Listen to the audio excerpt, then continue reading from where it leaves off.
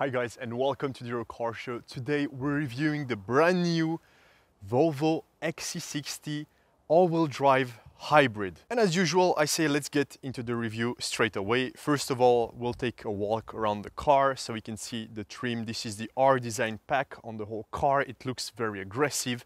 It's very, oh my God, it's very gorgeous, especially in the sunlight not too much and in this weather with a bit of uh, ice as you can see on the ground and snow it just looks perfect. That's Volvo territory 100% you can see the wheels black accents on the wheels, black accents a bit everywhere, like the trim is a bit darkened out as you can see the mirrors and everything. So there's no chrome, it's a, like a full black package and then the car with this white pops really, really well. Now, as you can see, and as I told you, this is a hybrid, so there's where you charge it, like with the XC40, same principle, basic principle, very simple, and uh, charges quite quickly, a, a, few hours to get the full charge, which is about 35 kilometers. And again, look at those black accents here and everywhere, and here on the roof. Plus, this is a full panoramic, so it's very, very nice. And of course, well, keyless entry and uh, all that. So as you can see from the side, this car looks very, very nice. There's not much to say, you know, design is quite subjective. I'll just give you the walk around and stop for a few design cues and everything. But overall, well, you're uh, the one who decides. You're the one who reviews the design. Personally, I like it. And of course, twin exhausts, one on each side. And again, it's a proper exhaust. And it's very windy outside, by the way. I'm sorry for that. But uh, yeah, no choice. It's the winter yeah, twin exhaust, I love that. Diffuser in white here with the black accents. Again, everything's very well made and it looks just perfect. Like the package design-wise, I find it very, very appealing. Everything from, you know, there's a spoiler here. With it, honestly, this, like blacked out windows in the back and everything, it just gives it a more aggressive look. So the R design package plus all those little bits and trims make it a very aggressive looking Volvo. See again, let's finish the walk around such a gorgeous car, such a beauty. And again, if I slip and die, this is all for you guys. As you can see, it's very icy on, on the ground and uh, I'm uh, risking my life here for this review. Let's look at the front. Of course, LED lights, no question about it. Uh, very Volvo. You can see the signature, full LED system. I love that. It's a very, very nice looking car. I love the XC40 design-wise, but this is even more you know, in my territory, I'd say. So you know what, let's start with the engine as usual. Let's open up the bonnet. Okay. Let's go to the front. I've never opened this bonnet yet. Let's see. Oh yeah, that's quite simple and it has struts, so that's nice.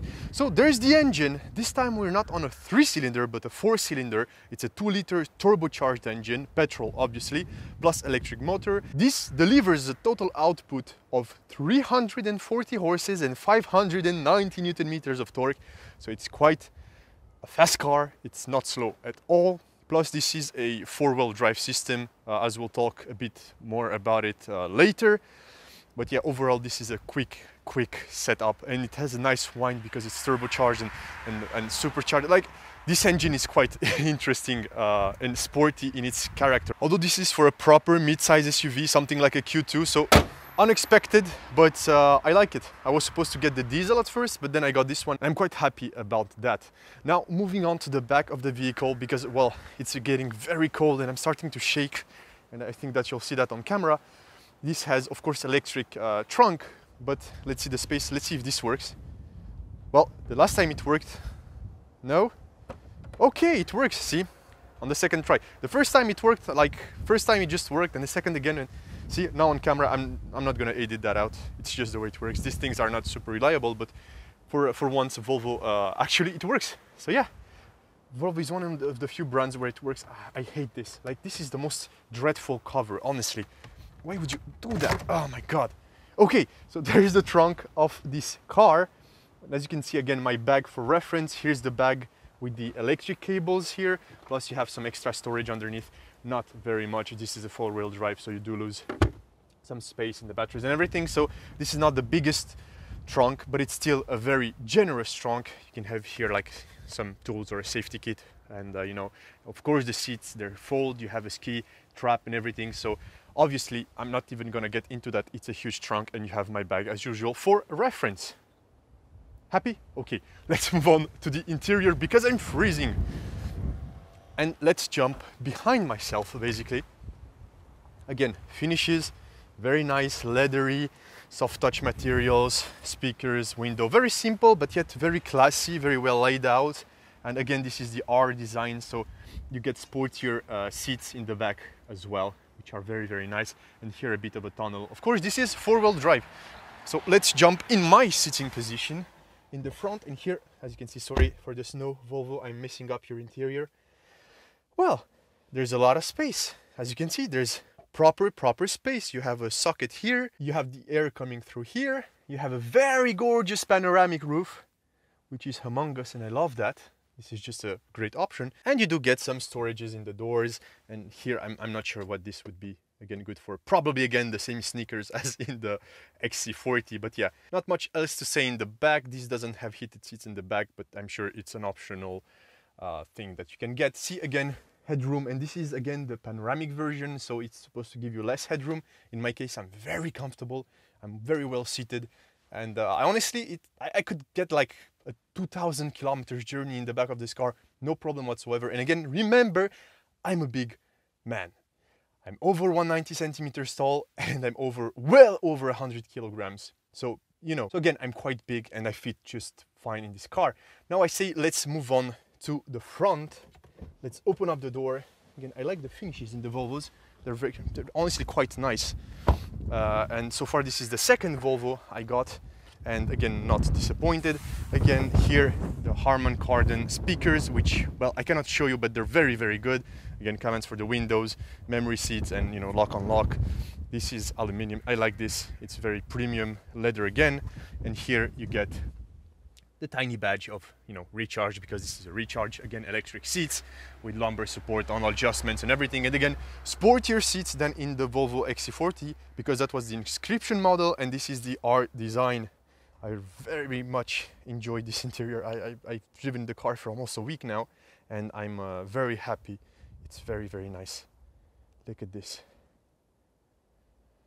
No you know what? Let's jump inside the car because I don't want to freeze to death boom, I'm inside the car. This is the cockpit view, but we're not gonna start with this. First of all, door bins, very big. Like you can see, this is a one and a half liter bottle and it fits no problem whatsoever. And overall, you still have a lot of space. Of course, blinkers and all that, I won't cover that. Nice air vents here with a nice finish, aluminium and metal. And it's very nice, you know, with the black and the sporty package, it's just a very nice uh, and appealing interior. But let's move on to the center console. Here you have some storage with USBs and everything. You can see there's my phone, my keys and all that. And here, of course, uh, for the auto hold and drive modes and everything, we'll cover that in a minute. But you can do this and there it reveals two cup holders and a wireless charger for your phone. You can put it here and it's gonna charge. Plus you get another socket here and some tiny bit of storage. I'm not sure what you'd use that for, but still, let's close that back up. And here you have, you know, warnings and all that, controls for the stereo and uh, to defrost your windows and everything. So that's quite straightforward. Now I say I'll turn on the car so you can see, well, the infotainment and then everything back. Uh, it turns on like this. You'd think that you would have to press this, but no, you have to turn it. And then the car just comes to life. This is a hybrid, so it's in full electric uh, when it starts. Again, sorry, a bit dirty here. So the drive modes, let's cover those. Let's cover those first. So the drive modes, here, this is hybrid. That's how I drive the car 90% of the time. Uh, it's basically, well, what it says, it's a hybrid mode. So you use both engines and to the best and the most efficient way. Eco drive, so the pure mode is full electric. Constant all-wheel drive, because yes, this is an all-wheel drive car, will give you constant all-wheel drive. I wouldn't say that it's the mode for off-roading, but more like when you have icy roads and everything, and you just want to feel a bit safer. Now there is the power mode, which is the sports mode, of course, for sporty driving, it's written on the screen. And lastly, you have the off-road, which is more, well, off-road dedicated mode. Then again, in this car, it could be useful, whereas in the XC40, it was quite useless because front wheel drive, right? So I'll keep it in hybrid now. Let's show you the digital display. So that's what happens here in hybrid. This is the digital display. It only changes when you put it in sports. You get it and the engine just starts and yeah, all that happens. It's great. But anyway, let's go back to hybrid because I don't find it very useful uh, in, in sports when doing a review right now. We'll put it in sports a bit later. Now there's the display, straightforward here. Everything is well laid out, it's very clear. Plus this one has um, heads up display. And I love that option. If you guys know me, you know I love heads up displays and that's just a big plus for me. Now let's look at the infotainment system, which is again quite straightforward here. You can set up the degrees to which you'd like your car to blow its air at and of course you have heated seats and heated steering wheel uh, on both sides not for the steering wheel of course for the seats because you don't have two steering wheels that's just a dumb comment and there you have my average um, again i've mostly driven this car in town so it's pointless for me to tell you like yeah i've done a 50 feet no it's not it's like honestly 85 to 90 percent of the driving has been done in town I've done uh, driving with full charge and without charge, and that's the average I got, so around six. But mostly it was in hybrid and you know normal regular driving. Uh, but I've also gotten an average where I've driven the car a bit more on the highway and tried to get a full mix, and that was more around 7.6 if I remember correctly, like driving at 120, um, 130 on the highway plus city mixed hybrid again. See now it's going up because I have the engine started. So yeah. Uh, I have restarted it to see the true average in town with the full charge and everything. So it's still quite good. Of course, you can connect your phone, Bluetooth, music, position, all that. We know that. Of course, you have Apple CarPlay and Android Auto if your phone has it and it's connected. You get many, many, you know, radio, Bluetooth. I, am not gonna cover that. You can see that on the screen. It's quite straightforward. And if you move uh, to the left, you get all the safety features from lane assist to park assist to the cameras, See, you have many, many cameras. It's, it's quite nice. I like this. It's a clear camera and it works just fine. And if you want to go back to this, you just press the button. And here, here you have the heads-up display and your collision avoidance, which is the, the car is going to brake and help you not crash the car. Distance alerts, you know, pause and you can see all the features. I'm not going to cover all of them because, again, with the other Volvo, as I told you in the previous review, there's just too many and, you know, Volvo is well known for uh, that. No, I don't think there's much I still have to cover about this car. Well, you see the steering wheel, you see there's commands on the steering wheel. I'm not gonna go into that, but I think it's right about now where I should start the car. Well, it's already started. So that's right about now where I should take this car for a drive and tell you more about it when it comes to comfort, when it comes to driving, when it comes to, you know, just my own personal opinion on this car. So, first and foremost, the way I'm seated, well, I'm very comfortable in this car. As you can see, I have tons of headroom and obviously tons of uh, well leg room and all that. Of course, I'm well seated in this car. It's an XC60, and if I was fitting in the XC40 just fine, this is just that but bigger. So let's take this for a drive. Starting in this car, you'll hear for this time, well, it just picked up with the engine. Uh, sometimes it will go full electric, most of the times it will be just full electric. Now the engine is running, and even with the engine running, I don't have to scream. It's very silent, it's very refined, the suspension is very comfortable. Uh, I feel it's a bit more rigid than the XC40 inscription, but maybe it's just me, maybe that's because of the winter tires, maybe it's because of the road, which is not as good as last time and now there's also like uh, some ice patches and everything. So yeah, nevertheless, it just feels a bit uh, more rigid. Now, behind the wheel of this car, how does it drive? Well, like any other car, it's an automatic car, and when you use it as a hybrid, it just drives normally. You have a commanding view, which is something uh, I enjoy, especially, you know, crossovers, I'm not a big fan. This to me is more of a SUV, mid-range SUV than a crossover, so I tend to enjoy this a bit more. I think, you know, a bit larger. Like if you get an SUV, just go, you know, full on, don't, you, know, you get the point. For example, if I accelerate, I mean, it picks up. Again, in hybrid, is it a bit laggy? Yes, yes, like the XC40, it does have a bit of lag when you're in uh, hybrid mode. I was in electric, now I'm back in electric. Very silent, very refined, very comfortable you know, it's a very family oriented car and you wouldn't expect this to be like loud and noisy and aggressive. No, of course, this is a Volvo T6. This is not a Polestar, and I'm sure even the Polestar will be refined because it's a Volvo. And you know, being loud and everything is just not a Volvo thing, right?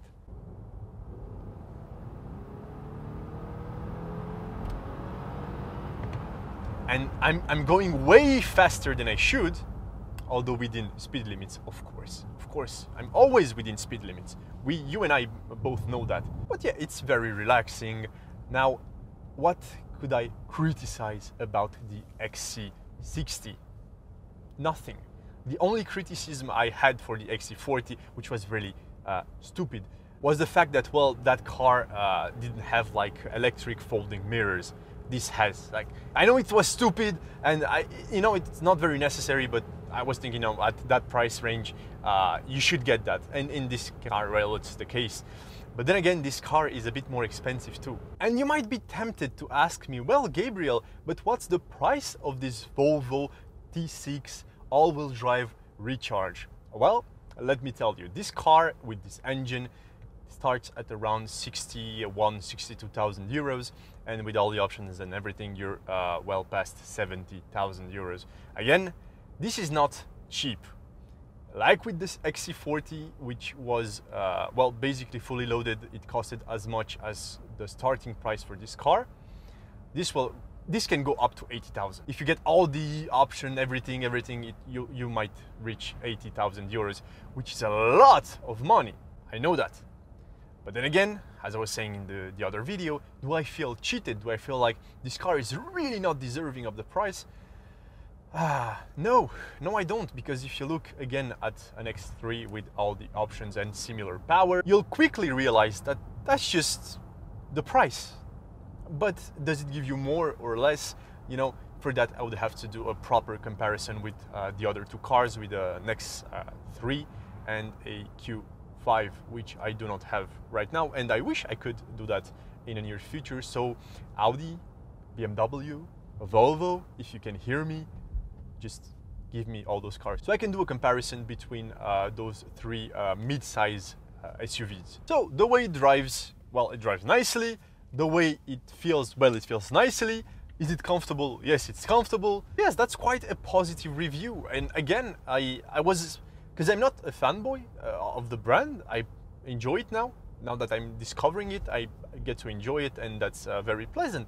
But if there were something wrong with the car, I would tell you. And so far, I couldn't find anything wrong with the car. Everything is well laid out, everything is very well made, everything is just the way it's supposed to be, and therefore criticizing something that's good, it's just pointless. Criticism for the sake of criticism. And you know, listen, even with the lag, let me put the car in sports now. And see if there's, well, there's a huge bump and I've just taken the worst road possible to do that. Uh, now listen, in sports mode, if I need power,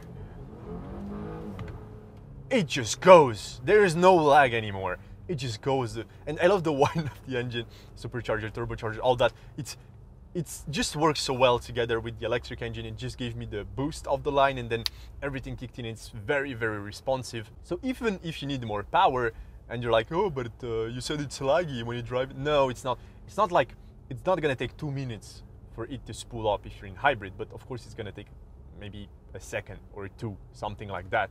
That's what I mean by lag. It's not instantaneous. But once you're in sports, it just goes, man. It just goes.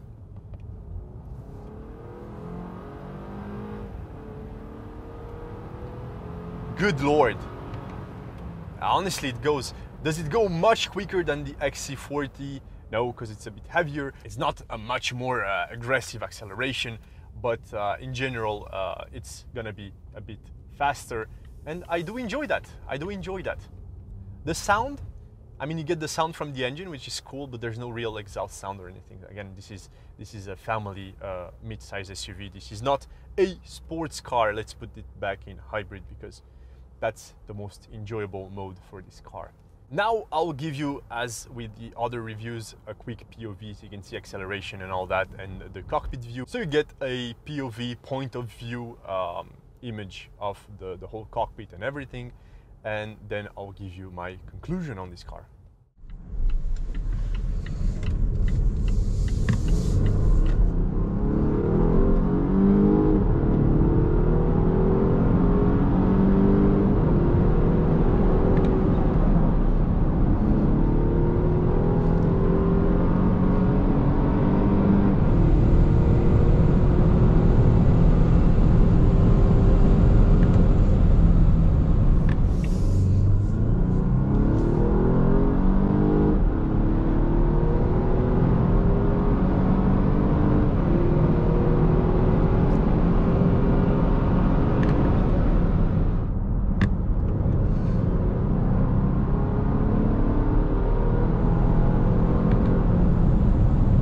So what's my conclusion? Well, it's very straightforward. Is the XC40 any good? Yes. Is it, well, expensive? Yeah, it's, it's, it's, expensive. Is it worth the money? Yes, I think the car is worth the money, especially if you get it like a, you know, like a company car and everything with the tax exemptions and everything because this is a hybrid i think it will be uh, it would be a good investment in my opinion. So i'm not gonna bore you with uh, a 50 minute uh, video on this car because i've covered everything i wanted to cover. If you guys have any more questions feel free to leave a comment uh, down below or you can dm me on instagram at Euro Car Show at any time uh, you'd like and i'll reply because we're not that many, so I can still afford to uh, spend some time replying to all the messages, all the comments, and um, you know, everything. Now, if you've enjoyed this video, make sure to give it a big thumbs up. It helps us with uh, the referencing on YouTube. And if you can spare a couple seconds, please consider subscribing to the channel. It helps us tremendously. I don't like doing that, you know, basically begging for subscribers, but it's just a game. And uh, if we don't do that, it's harder for us to get cars and uh, you know all that. So if you want to join me on this adventure, make sure to subscribe and also uh, follow us on Instagram for more content, you know, pictures, stories, and all that. So, anyways, as usual, it was a pleasure to review this car for you guys, and I'll see you in the next one. Bye. No, no, no, it's not bye. It's ciao. That, that's the right outro. Ciao.